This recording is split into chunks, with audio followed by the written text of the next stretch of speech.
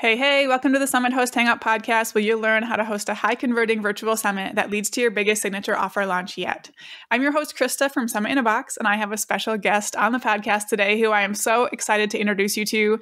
This is someone who I got to work with in our Launch with the Summit Accelerator program, and she has one of those stories that just fuels the work we do as business owners, right? Like those stories that keep you going, that let you know that you're making the kind of impact you want to make. So, to give her a brief introduction, Heather Levin is an educator, herbalist, and chicken wrangler of over 30 chickens. She's also the founder of the Backyard Chicken Summit and the Chicken Health Academy, a pioneering online membership that teaches natural and emergency chicken care strategies. So unique, so needed in her community. I love how niche this is. Uh, she's just really so wonderful, and I can't wait for you to meet her. So, without further ado, let's dive in and talk with Heather from Chicken Health Academy. Welcome, Heather. I'm so excited to have you here. Thank you so much, Krista. I'm super excited to be here too. This is going to be fun. I'm I'm excited to look back and and remember your summit, think back on all of that, and really the questions I formatted were kind of thinking back to your first summit. So that that's when we got to work with you more closely. But you just got done with your second one too, so we can tie in whatever you want to tie in, take it wherever you want to take it. To start though, tell us a little bit more about your business, uh, your membership, all of that. So I started my business in April of 2021 and I had been a freelance writer pretty much my whole career before that and was just at the point where I was ready to do something different. I wasn't really happy freelancing full time. So my husband had just started his business. So it was pretty risky for me to kind of leave our full time income and, you know, have me start my own business too. But we, you know, we were financially ready for a move like that. So we were like, let's just do it. We, we're both experienced entrepreneurs. I really didn't think it was going to take that long of a time to get my business up and running. So I went ahead and just, you know, left my paid client work and started my first business was the Greenest Acre. So it was like a homesteading, like a how-to homesteading website. And so I started creating digital products and working with different business coaches and just learning how to set up funnels and, you know, get get everything set up. But I started to realize that I really loved writing about chickens. Like of all the homesteading things I was writing about, like every time it came time for me to talk about chickens or write about chickens, I just got really, you know, I just got super excited. So after lots of failed launches and struggling with figuring out my audience, I'm like, I just feel like I want to do chickens. so I kind of pivoted my business after I guess it was maybe 9 or 10 months. I decided to, you know, just dive into focusing on chickens and began to create Chicken Health Academy because I saw that there was such a huge need for chicken healthcare information. Like it's scattered all over the internet. And, you know, when people get, you know, when they have chickens that are sick, they're scouring Google and they don't know what to do. And so I really, I really felt called to create a business that focused on helping people prevent illness and disease with herbs and natural care strategies and teaching them emergency care techniques so that when illness strikes their chickens, they know what to do and they don't have to panic and lose their chickens just because they don't have the tools and the and the expertise to to help heal them. So that was that was kind of how I started Chicken Health Academy. yes, that's amazing. Were you like nervous about niching down or could you just feel that it was right? I just I felt like it was right because that's you so know great. the the homesteading it was like there was such a broad audience for that.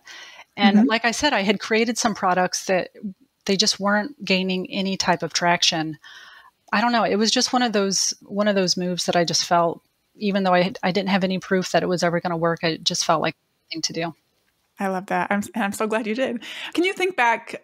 So that was 2021, 2022, mm-hmm. maybe. Can you think back and share a little bit about where you were at, um, and maybe how that business was going before you hosted your first summit?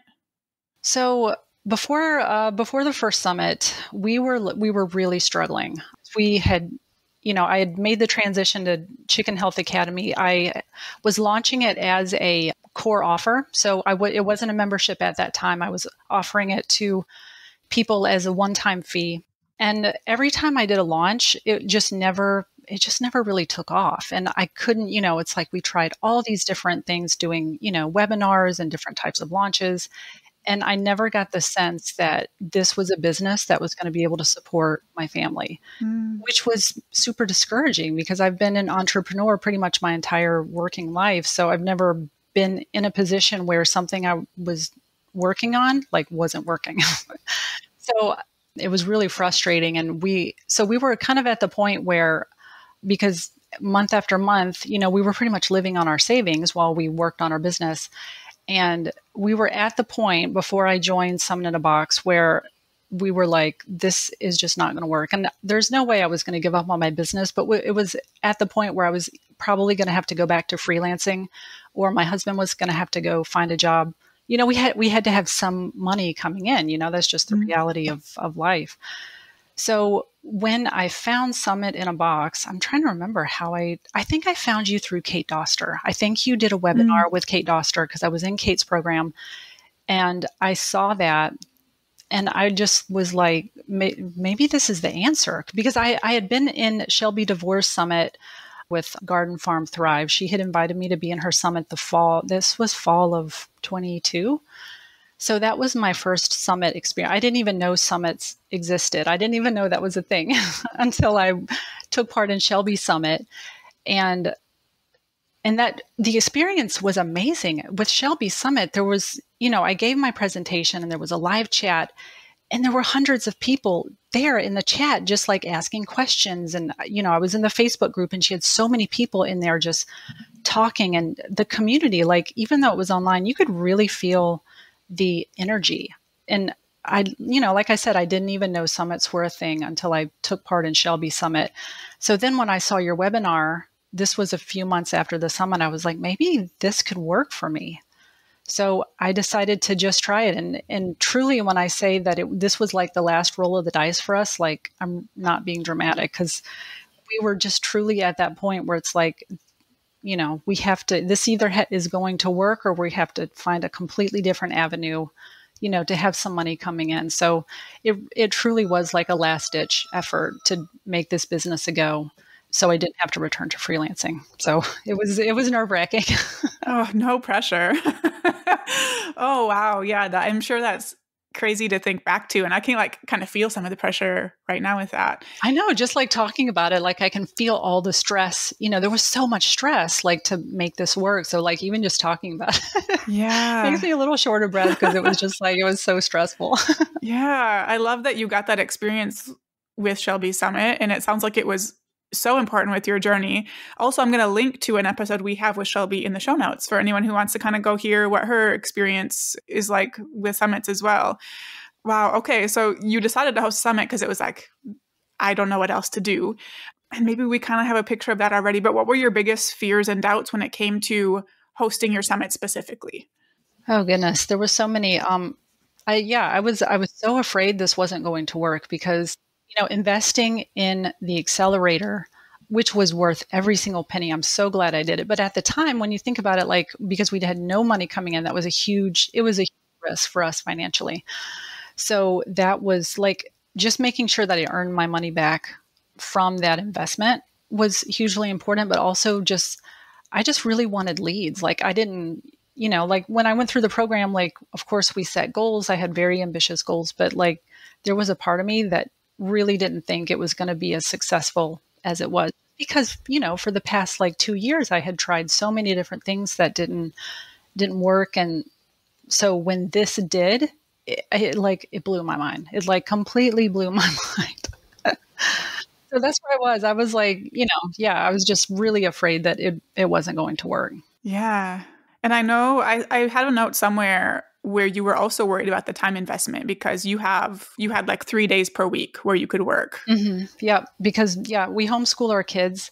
So it's really just kind of two and a half days that i get to work because my husband also homeschools. We kind of tag team. So uh, we each have time to work on our business every week and then also we get to take part in homeschooling our kids. So the first summit i did i kind of did in three months working you know two and a half or three days a week. And then i think the last month my husband completely took over the homeschool and then I worked every single day that last month because there was just so much to do. Yeah, yeah. Okay.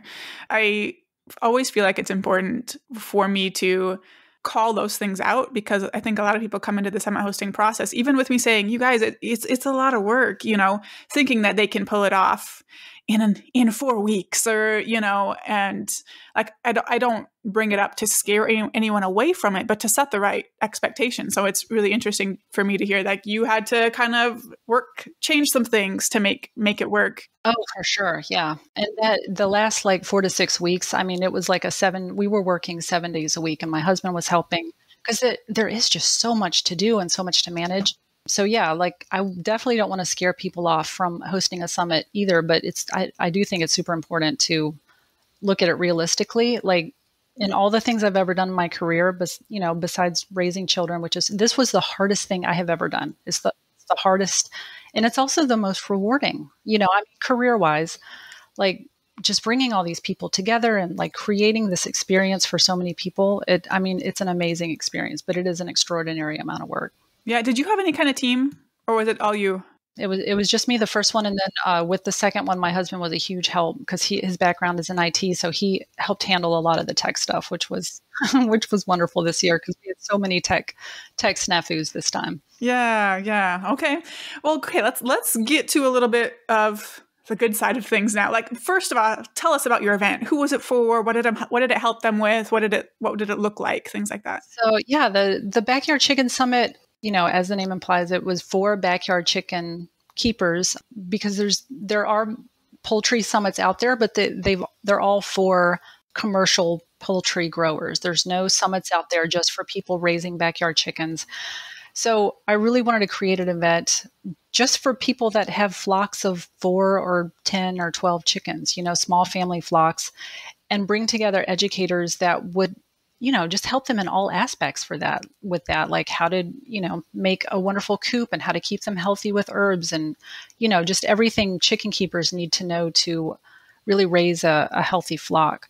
So that that was the goal of you know summit one and summit number two and it really turned into an incredible experience. And i think one of the things that was most impactful about especially the first summit was it it really made me understand how people were craving like community. So there um, you know, there's all these different various chicken groups online, but when people came together for this summit, I don't know, the the energy was just really incredible, and it made me understand that a sense of community was lacking in Chicken Health Academy, and so I really like after the first summit made made a lot of effort to create community in my own membership. And I think that's made a huge difference in my retention and the success of the membership because I, I, didn't really understand uh, until the first summit how much people were craving that sense of friendship and community in this niche. That's really cool that you were able to use your summit then, it sounds like, to improve your membership, yeah, draw sure. more people in, keep them there. Oh, that's great. Let's talk about the reality of the summit then. Like how did it how did it go for you numbers wise and um, anything else that kind of comes to mind with the question of how did it go? Yeah the first the first summit went really smoothly. So we had for the summit just over $30000 in total sales with summit number one. My cut of that so that was minus commissions was 23000 just over $23000 so that's what i was able to earn from summit number one. The second summit we did a lot better this time so the total sales for summit number two was around $47,000. So my cut of that was uh, 43, uh, just over 43,000. Congratulations. And with the second summit, yeah, thank you. It was, yeah, that was, it blew my mind when I kind of tallied everything up. But we also had sponsors this year, which we didn't have on the, on the first time, the first go around with the summit, and they brought in a lot of uh, a lot of new people into the fold. So that it, it, was a great experience learning how to work with sponsors. And I, I think I wrote in the Slack group was I was like literally watching the video that you made of how to how to do a sponsorship call like 10 minutes before my first sponsorship. I mean, it helped me so much, Krista. Oh, I mean, seriously, I think I was able to land that sponsorship because of some of the tips that you gave in that yeah. video. So that was hugely important. So thank you for that because it was it was really great. I'm so glad just coming in clutch right when you need it. That's what I love to do. How did registrations go? I think I have a note that you had about 5,500 people registered for that first one.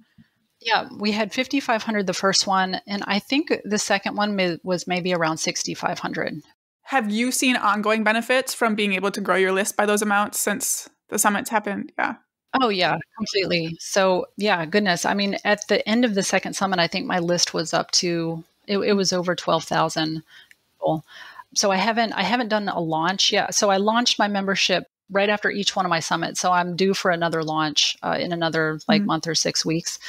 So we'll see what happens with that. But yeah, the the amount of people that I got into my membership from summit number one and summit summit number two has completely transformed not just you know just not just the membership itself but also just the income that we're getting from those regular memberships. Uh, so it yeah. I'm trying to remember how many we well you wrote it down like didn't with the first membership i mean with the first summit we got what was it like yeah, i have 260 written but it could have been 280 yeah.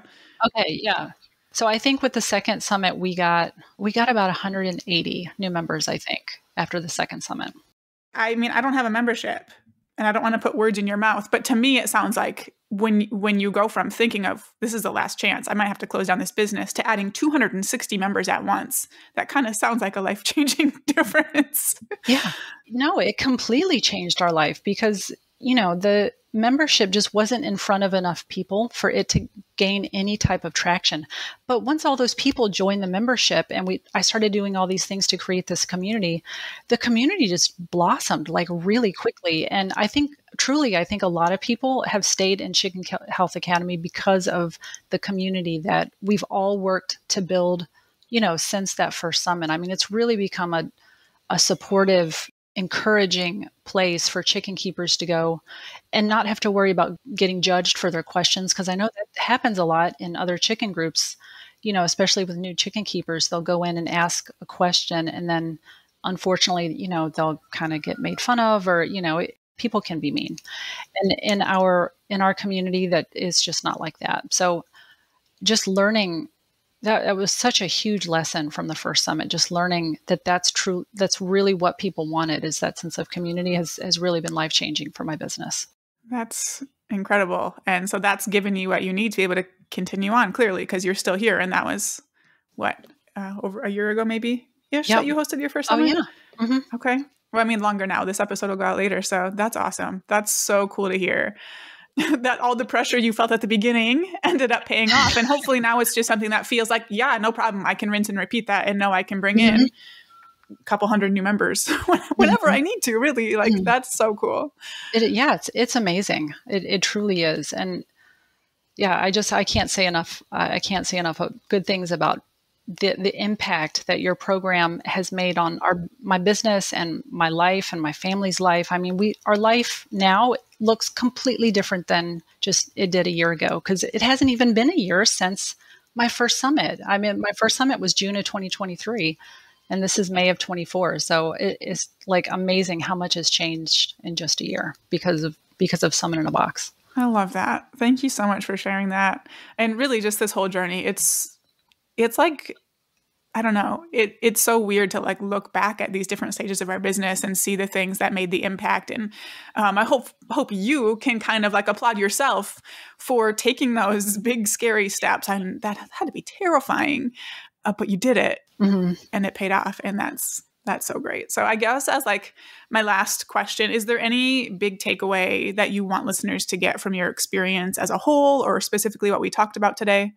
I would just encourage people, I mean, truly just don't give up because I, you know, we weren't, we weren't at the point where we were giving up on our business, but it was on the horizon where we, we're going to have to make a, a drastic change. And it's like, and, and that's what Shelby DeVore told me early on in my business. She was like, don't you dare give up because you don't know what's right around the corner. And it's so true. So I'm going to repeat exactly what she told me is to, you know, I know what it's like to be on the edge of a cliff with your business mm-hmm.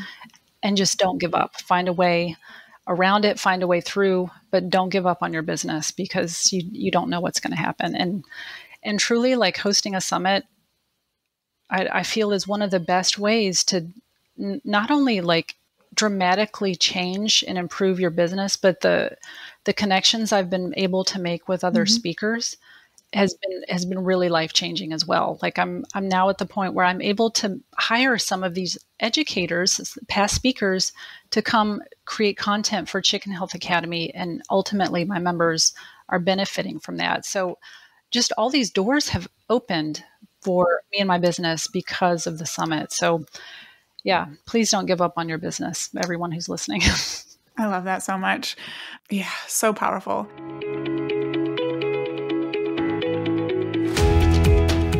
If you're ready to host a high converting virtual summit to replace your slow growth marketing strategies and use it to lead into your biggest course launch yet, I've got an exclusive training just for you.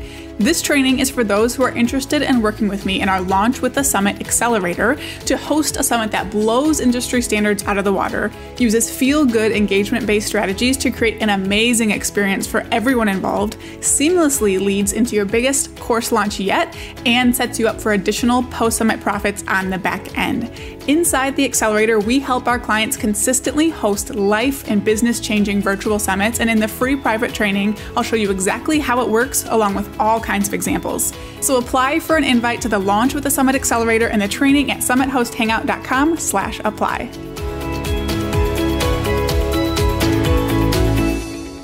Let me know where people can go to learn more about you, get in touch with you, all that good stuff. Yep. So if people just go to chickenhealthacademy.com, that's all about our program. And then also, uh, I still have the greenestacre.com up. There's a link to some free downloads we have if you want to just get on my list and see what we're up to they can go to thegreenestacre.com to check that out. Perfect. We will link to all of that in the show notes for anyone who wants quick access links. Thank you so much for being here, Heather. And thank you so much, everyone, for tuning in. For show notes and resources and links mentioned, go ahead to the link in the episode description wherever you're listening for all of that. For now, go out and take action to plan, strategize, and launch your high converting virtual summit.